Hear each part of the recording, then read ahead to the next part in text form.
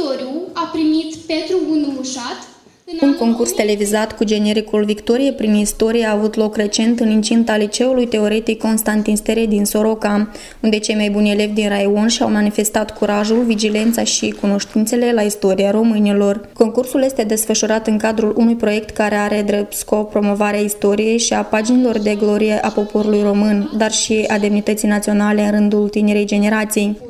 Potrivit organizatorilor, competiția se va desfășura și în alte 17 localități.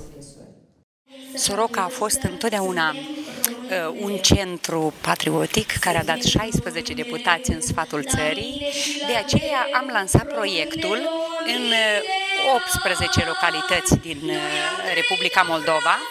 În Chișinău vom fi doar în ultima ședință.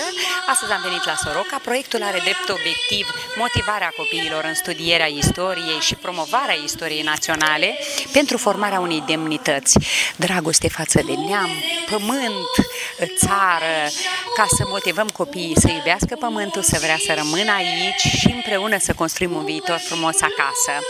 Grupul țintă sunt copiii din clasele a 5-a, a 12-a, vor primi premii pentru că am găsit sponsori, eh, iar ulterior la gală vor avea și o excursie în afara Republicii Moldova. Pe lângă acestea, prin intermediul proiectului sunt promovate orașul, disciplina, dar și apreciată munca profesorilor de istorie. Astăzi Liceul Stirie este gazda unui concurs televizat Istorie și Victorie. Este un concurs mai vechi, pe, a, a rulat TV Moldova 1. Acum, din câte înțeleg, TV 10 a preluat acest concurs și se află în lista organizatorilor, împreună cu ziarul Timpul.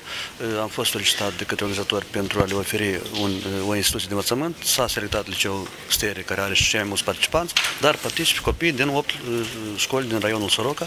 Este un concurs de istorie, un concurs de erudiție, care considerăm noi că dezvoltă la copii cultura generală și dragostea pentru istoria neamului.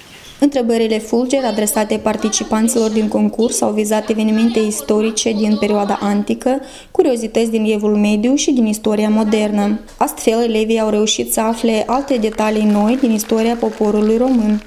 Eu cred că acest concurs este unul foarte benefic, mai ales pentru elevi, deoarece în acest mod noi ne cunoaștem istoria, tradițiile și rădăcinile noastre.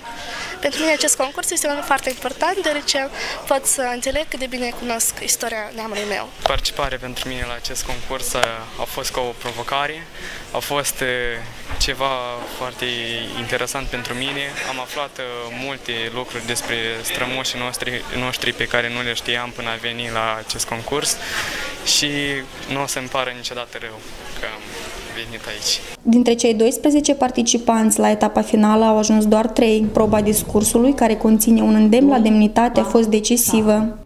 Suntem români și suntem demni de a purta acest nume. Anul acesta se împlinesc 100 de ani de la Marea Unire. Și... În final, pe locul 3 s-a poziționat Mania Dumitrița, eleva gimnaziului Rublenița. Pe locul 2, Vlada Condra, iar pe primul loc, Ecaterina Rusnac, eleve la liceul teoretic Ion Creangă. Egal cu toți în fața legii, sperăm spre un viitor mai bun. Să nu lăsăm ca tot ceea ce au săvârșit strămoșii noștri în numele demnității naționale și unirii să fie în zadar.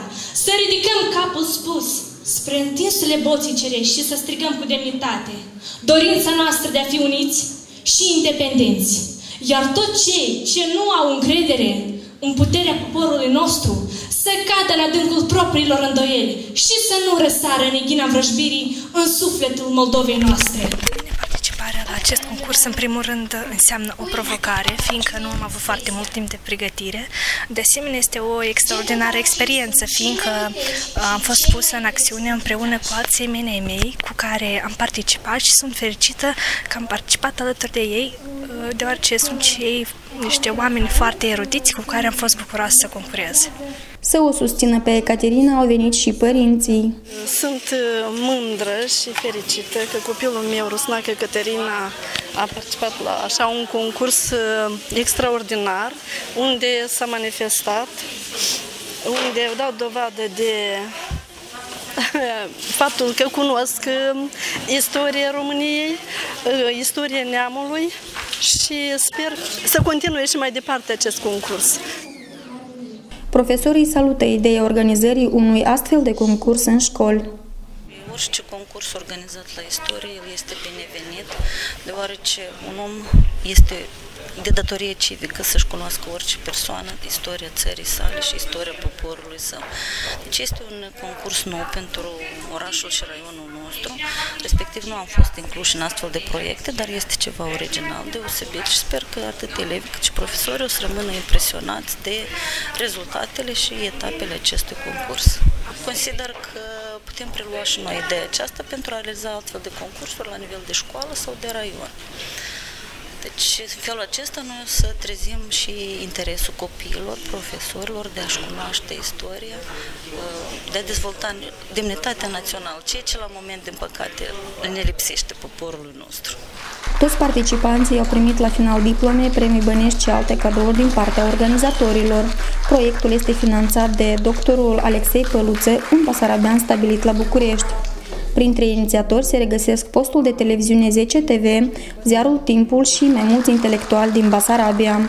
Menționăm că anul curent românii de pretutindeni sărbătoresc centenarul Marii Uniri.